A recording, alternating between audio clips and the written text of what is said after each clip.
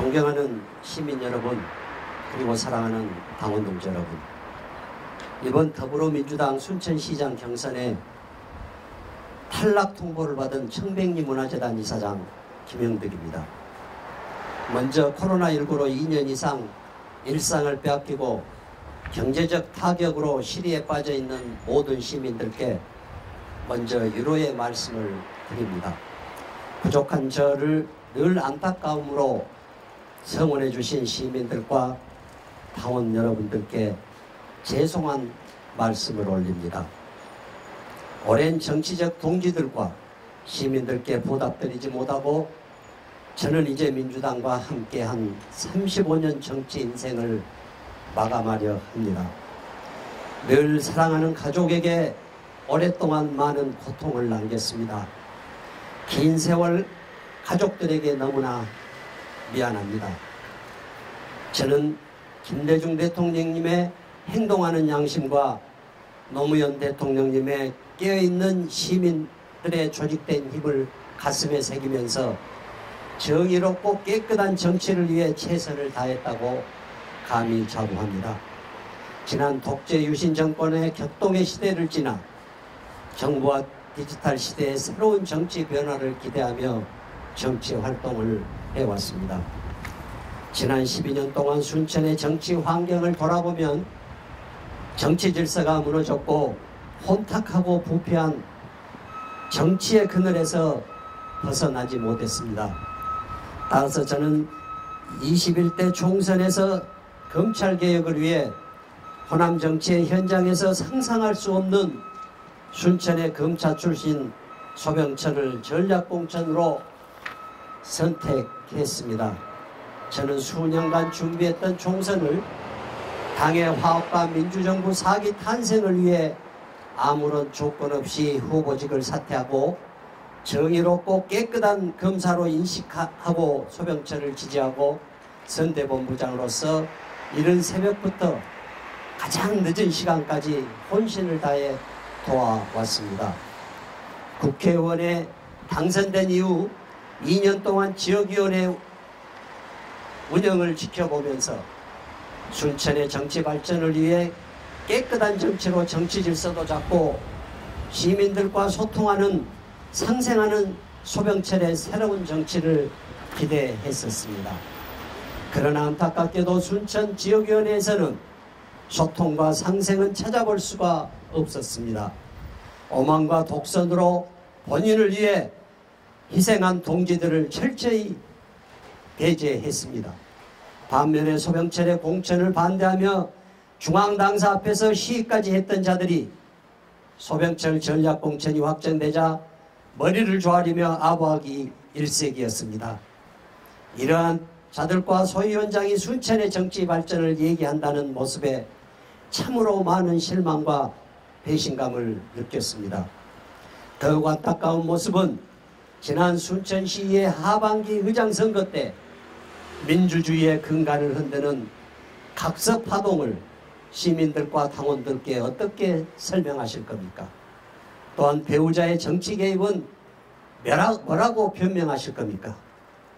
특히 4, 50년 지역에서 살아오면서 시민들의 숨소리까지도 파가고 계시는 순천의 정치적 대선배님들과 지역 어르신들께도 대신해서 사과의 말씀을 드립니다. 예우를 받아야 마땅할 지역의 원로 선배님들께 오만 방자한 모습으로 지역위원회 사무국장이나 보좌관을 시켜서 약속을 잡는 행위는 검찰 권력의 수사 형태인가요? 특히 안타까운 것은 고 김기태 도의원의 사망이 참으로 안타깝습니다. 본인이 국회의원이 당선되면 김기태 의원의 도의장 당선을 위해 전라남도를 돌면서 꼭 당선시키겠다고 공언한 약속을 깨뜨린 것도 모자라 지역구 도의원 3명만 설득을 했어도 김기태 의원이 순천을 대표하는 도의장에 당선됐음에도 불구하고 아무런 조치도 하지 않았던 상황을 시민들과 당원들께 어떻게 변명할 건가요? 최근까지 당적을 옮겨가며 무소속으로 출마 경력까지 있는 자들이 전현직 지역위원회 사무국장을 맡는다는 것이 말이나 되는 소리입니까? 이제는 더 이상 순천의 정치 질서를 깨지 말고 저- 정의롭게 정치를 하시기 바랍니다. 당원들과 시민들을 존중하며 민주당을 35원 지켜온 저로서는 도저히 이해하기가 힘든 상황이라고 저는 다시 한번 시민들께 말씀드립니다. 소병철 위원장은 이번 6일 지방선거에서 수차례 SNS나 또는 언론을 통해서 개혁 공천하겠다, 클린 공천하겠다, 깨끗한 정치를 반드시 하겠다고 많은 당원들과 시민들께 약속을 했습니다. 또한 핵심 당원들과 지방 선거 출마 예정자들을 모아놓고 보좌진들은 절대 출마하지 않는다고 공언했던 그는 그 약속을 이행하지 않고 과거로 돌아가는 구태 정치의 형태를 여실히 보여주고 있습니다. 국회의원으로서 책임 정치는 어디에 있으며 언행 일치가 안 되는 정치인을 시민들께서는 다시 또 선택해야 하겠습니까? 중앙당 기준보다 더 강력한 개혁 공천을 하겠다던 그의 약속은 어디 가고 순천의 정신적 가치인 이곳 팔마비의 청렴 정신을 망각한 세 명의 비리 전력자들에게 경선 후보 자격을 부여한 것은 또다시 순천의 이미지를 손상시키고 정치적으로 부패 도시로 다시 만들자는 겁니까? 하물며 이번 선거 과정에서 보좌관을 시켜 이번 경선 모 경선 후보의 후보에게 경선 후보에 포함시킨 후보를 공격하라고 지시한 공작 정치 행위는 참으로 납득할 수가 없습니다. 이렇게 시민들과 당원들을 무- 기만하고 부패한 순천 민주당의 경선을 어떤 논리로 설명하겠습니까? 민주당이 소병철 의원 개인의 사당이 아닙니다. 이제 더 이상 검찰 권력 형태로 당원들과 시민들께 상처를 주지 마세요. 아직도 남은 정치적 양심이 있다면 새로운 순천의 미래를 준비하고 미래 세대들에게 공정하고 정의로운 정치개혁의 환경을 물려주는 것이 국회의원과 국회의원의 책무가 아닐까요? 그리고 팔마비의 청렴정신이 선양되고 새로운 순천 정치의 정치적 가치로 자리매김되어 전남 제1의 도시로 성장하는데 최선을 다하는 것이 국회의원의 책무이자 당연히 시민들에게 해야 할 책임이라고 생각합니다.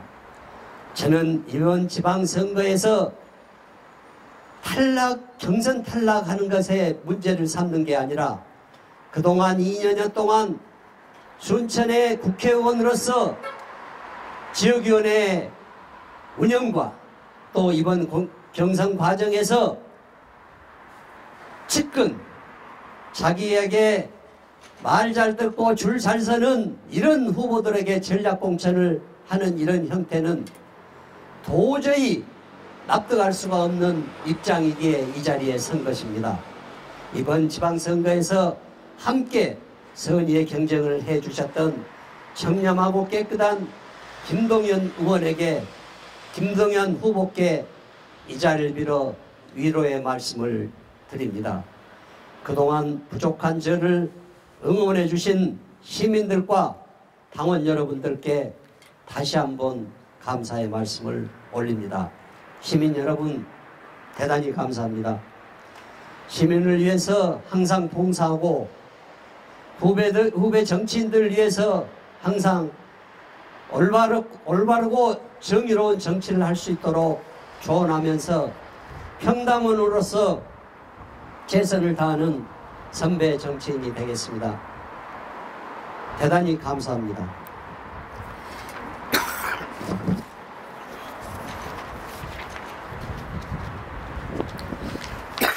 고생하셨습니다. 이제 혹시 뭐 질문하실 내용 있으시면 자리가 좀 그렇습니다만 예.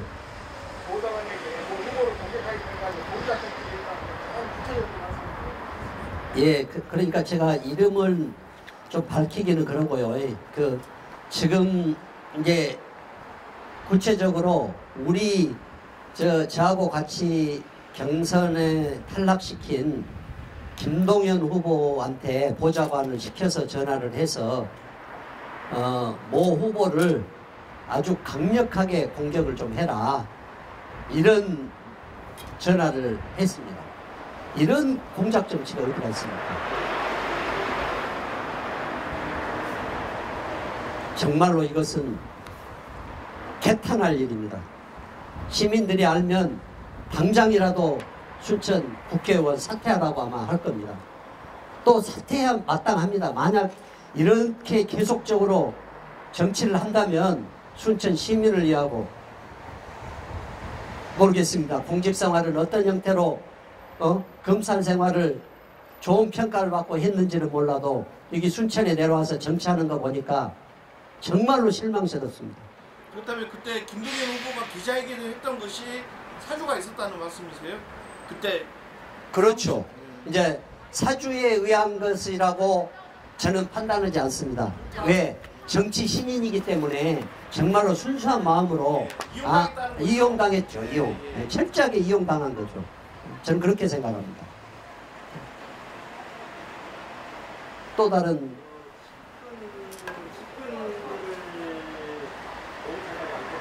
예.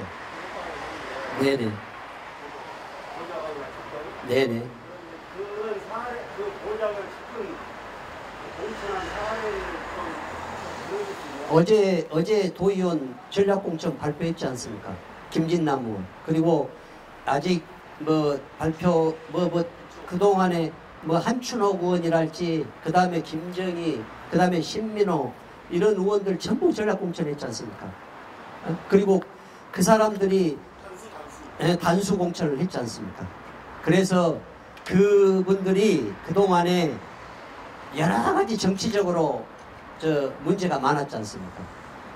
그때 당시 우리 민주당이 저기 저 대통령 선거 하기 이전에 총선할 때 LH 사건으로 부동산 투기 뭐 이런 것들이 얼마나 전국적으로 혼란스럽습니까? 그런데 그 후보 중에 그런 부동산 투기를 외지해가지고 지금은 그, 그 해당 부동산을 팔았다 그러네요. 최근에. 어. 그런 후보에게 또다시 반수공천을 하고 예?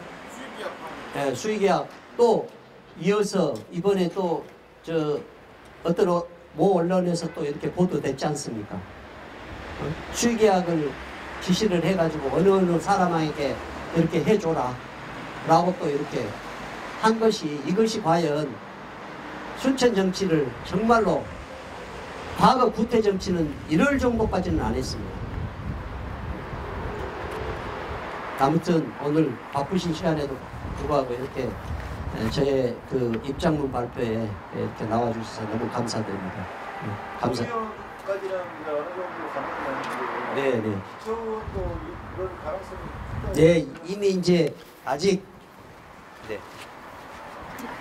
감사합니다. 네, 감사합니다. 아직 발표는 안 했지만 이미 청년 그 지분으로 전략공천 지역을 한 군데 이제 이미 지금 사람을 이미 투입을 해놨고 그리고 이제 다른 지역도 마찬가지로 아까 그 구체적으로 지역을 쪼개가면 특정 후보를 당선시키기 위해서 이렇게 또 지역을 나누고 그랬지 않습니까? 이런 것들이 에, 정말 있어서는 안될 그런 정치적인 그 행위 아닙니까? 그래서 정말로 안타깝습니다. 네. 이제 그 바쁘지 않으시면 어,